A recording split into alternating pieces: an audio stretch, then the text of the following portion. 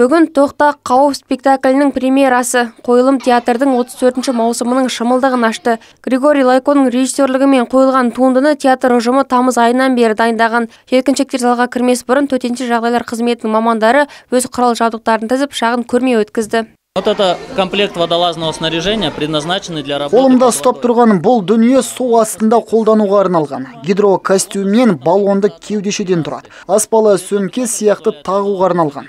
Судың ішінде жүргенде артық суды шығарып тастайды. Ал баллонда 18 литр ауа болады.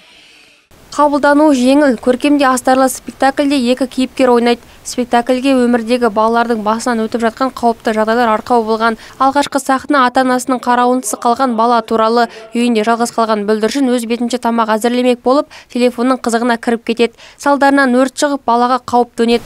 Осының астарындағы абай болу туралы ой балаларға жеңіл түрде әзіл арқылы жеткізілді.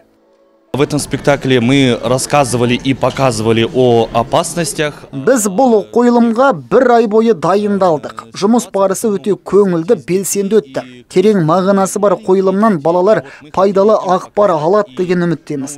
Айтылған ойды жадында сақтап абай жүрсе өкінішті жағдайлар да аз болады.